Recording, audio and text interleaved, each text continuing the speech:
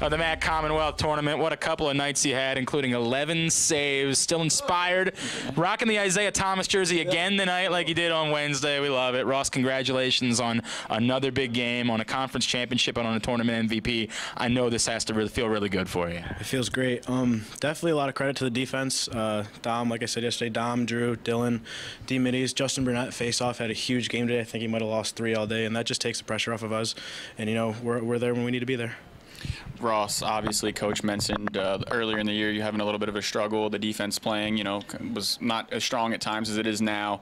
What does it mean for you to have back-to-back games like this heading into NCAA tournament? I think it's just good for my confidence. I mean, not that I ever lacked it, but just uh, know you go out there and um, and made some saves, helped the team win. It definitely helps for uh, to for pre preparation for the next game. A little mumble there.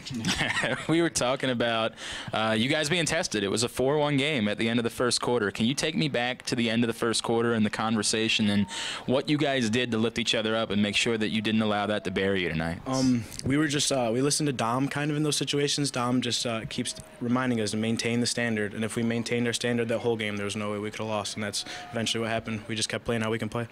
And now the NCAA tournament ahead, and this is going to be your first chance to uh, to get between the pipes the NCAA tournament. What's that going to mean to you? Uh, I can't wait. I've been waiting, and I do not want to lose.